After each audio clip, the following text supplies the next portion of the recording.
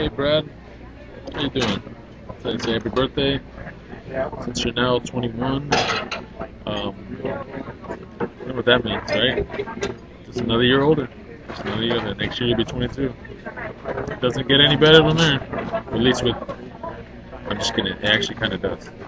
Um, but I just want to happy birthday, and um, it's, cool, it's cool getting to know you, and uh, gotta hang out more, man. What's up with that?